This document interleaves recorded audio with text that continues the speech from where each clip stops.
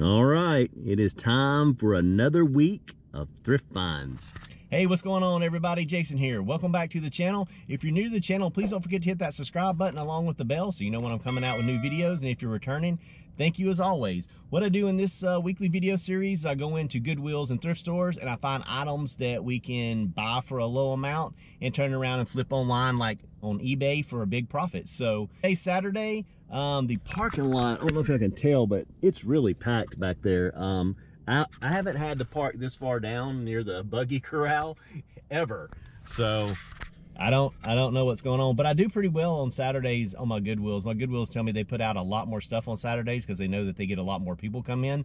So this one is the one that has been extremely overpriced where they're charging 50 $60 for used beat up Nike shoes. Um, but even when thrift stores do that, they still miss stuff. They don't know everything. So let's get inside and find those treasures that they've missed. All right, so as I walk in, I see these um, Nike uh, shoes sitting on top of a rack. $44.99 for a pair of worn out Nikes. Here's another beat up pair of Nikes. Anybody want to guess how much? $44.99. You got to be kidding me. And now here's a pair of Brooks running shoes. These are great for resale, but not at $34.99. That is way too much. All right, so now we're down in electronics, and for $3.99, I run into five uh, AT&T home phones. Home phones still do really well. Um, these are all brand new, factory sealed on the inside, selling on eBay for about 25 to $26. So I'll go ahead and grab all five of those. And then I'd already put in the cart this Sony CD player. Um, I was surprised that the uh, comps on this. Somebody sold just the faceplate for $36. Somebody sold the whole unit and faceplate for 70 So for $7.99, we grabbed that. Let's take a look at what I got. I did really good. Uh, this entire bag down here is full of these brand new AT&T phones. For some reason, they cut off the UPC codes on them, but I did look them up. All these are brand new. They were only $3.99 each. I think for this one here, I can get around 18 to 20, maybe even a little more, but I've got six of them total, and at $4, I should be able to make a little bit of money off of each one. All right, some of these prices, I'm just gonna have to go off the top of my head, um, but I will flash them on the screen. This Sony CD player, looks like it's got Sirius XM, Bluetooth. These things used uh, sell for around 40 to $45. Paid eight bucks for this. I do really well with car stereos. If you've ever watched my channel, especially the factory ones, I do extremely well with those. Um, this is just the Aura Gel. I paid $5 for it. Somebody's selling a two pack on eBay for 18, so that's a three pack. So probably might ask 20 23, 25, somewhere in there. And then this might be a really good score. I got to do a little more um, research. It's Nordic Ware. I did have to pay $10 for this thing. Um, I guess it's new. There's some dirt in there. But yeah, I don't think it's ever been used. It's brand new. That's just some dirt. But somebody sold one of these used for like, I think it was 25 or $35. So what I could get 50 60 for this? Maybe? I don't know. We'll, we'll more to come on that. And then the last thing I got y'all saw how overpriced this Goodwill was. But even with it being overpriced I still found all of this stuff that they kind of missed. I did have to pay $25 for these FootJoy golf shoes. FootJoy is an extremely good brand. They have a huge following. There are no new FootJoys of this model um, anywhere on eBay. Somebody did sell a new pair at some point for $70. I'm probably going to ask upwards of 90 to 100 for these and put best offer on it because they are brand new in the box. Uh, I did have to pay $25 for that. All right, on to the next. All right, so it's a few days later and I've returned back to the same Goodwill. I'm up here in the glass case. This is where they keep what they think are the valuable things. I'm just kind of looking around. Most of the shoes in here are like $50. Are just really not worth um, picking up. But I come over here and I see this knife set. I've done really well with knife sets. And then all of a sudden I see the silverware. I'm like, oh, can this please be sterling silver? But unfortunately, as I flip it over, it's uh, stainless steel. But always check those out. If you ever uh, run into some silver, uh, sterling silver, you've hit it big. Uh, again, knife sets can be worth a lot of money. This was an off-brand name, so uh, no real value here with the Cambridge. I mean, it's a decent set, but it's there's no resale value with it being used. All right, so now we're down in the sporting goods section, and I run across this Easton S3 bat. Uh, normally I pick these up for $3.99, but of course my greedy Goodwill wants $9.99 for it. Only selling for about 20 to 25 online. All right, so now we're down in the electronics section. I spot two PS2s, but I know not to get excited. $49.99 each is what my Goodwill's asking for them. The PS2 Slims can go for a decent amount of money, so definitely be on the lookout for those, but $49.99 for those two are definitely not worth it. All right, next up I find this Ouija board, and a lot of times these can go for some good money, the vintage one. This one glowed in the dark, so I was like, hey, I better look this up. Uh, they only sell for about 15 to $19, and Goodwill wanted 5 bucks.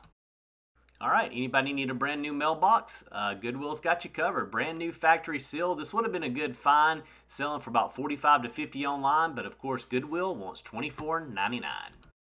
All right, so next up we have these Godinger candy cane uh, salad servers. These were $5.99. I did go and pick them up and I got them listed for 30 and I already have two watchers on it. All right, now check this out. For $5.99, a flower watering can purse. Now, who doesn't need one of these?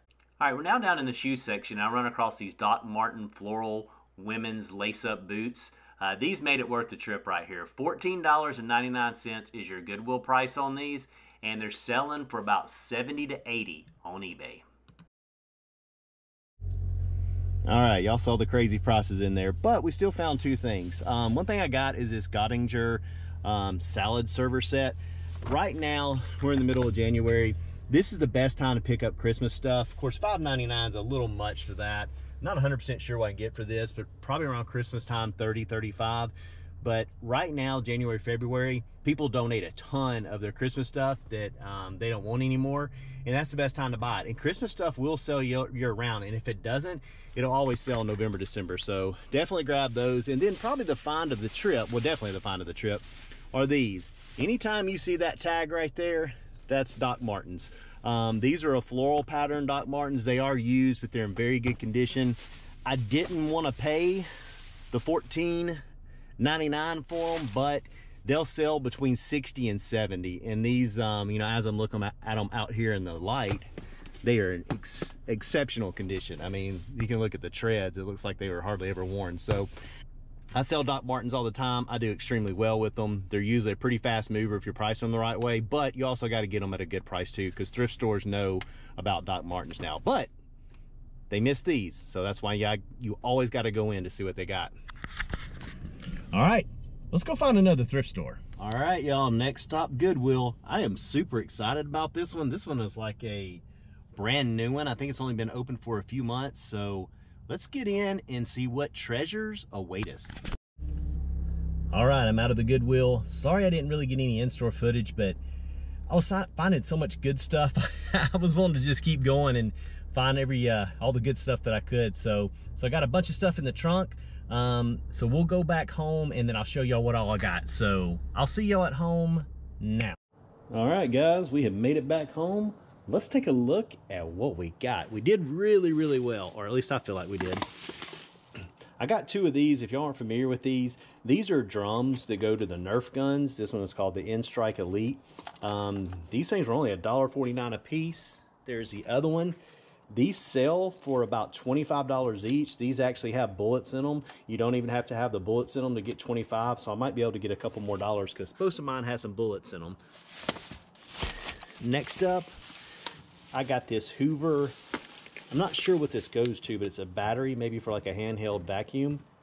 It was $5.99. I believe I can get around 40 or 45 for that. All right, next up, we have this really cool Michael Jordan uh, cup here. I'm not even real sure who it's made by because they got the sticker covering it up. Oh, well, it's made by Upper Deck. Uh, don't know if this is worth anything, but it was only 89 cents, and Michael Jordan was my favorite basketball player growing up, so I went ahead and grabbed that. I'll I'll put uh, something on the screen to show you what this is worth. All right, sorry, I had to shut the garage door, so the lighting may not be quite as good as it was a minute ago, but my neighbors are playing basketball. Um, next up, I got this Scruffy Sparkle.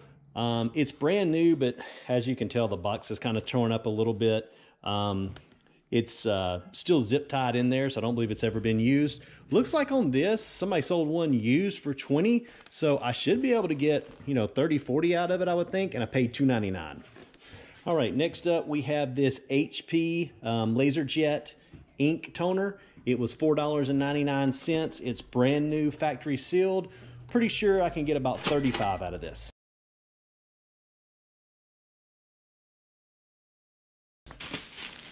All right, not real sure on these. These were only, what is the price? These were only $3. Um, let me get you over here in some light.